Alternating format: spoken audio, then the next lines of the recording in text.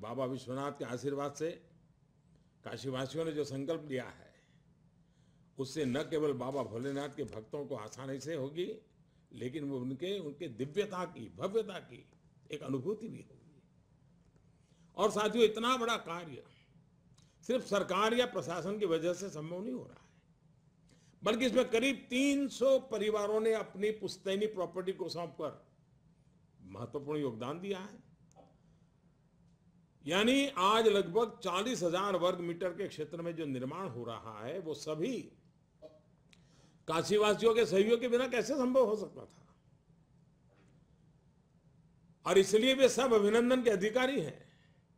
इस प्रक्रिया में जो दर्जनों प्राचीन मंदिर जो कहीं दबे पड़े थे, छुपे पड़े थे, आगे दीवारें बन गई थी, मकान बन गए थे, ये सब बाहर निकल करके आए।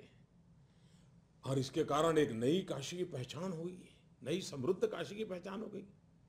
और अधिकतर लोगों को अब पता चला है कि काशी बाबा अकेले नहीं, पूरा बाबा का दरबार वहाँ मौजूद है।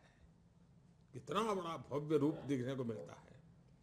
आप सब जानते हैं कि बनारस की पहचान, काशी विश्वनाथ मंदिर के पुनरुद्धार का बेड़ा, करीब 250 साल पहले अहल्या देवी जी ने उठाया था। अहल्या देवी जी के बाद इतना बड़ा काम बड़े पैमाने पर हो रहा है।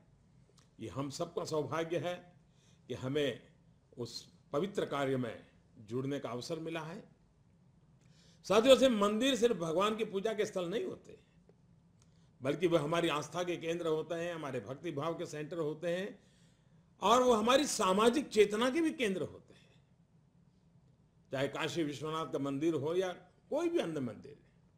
यहाँ आकर हर किसी के मन में एक पॉजिटिविटी का संचार होता है।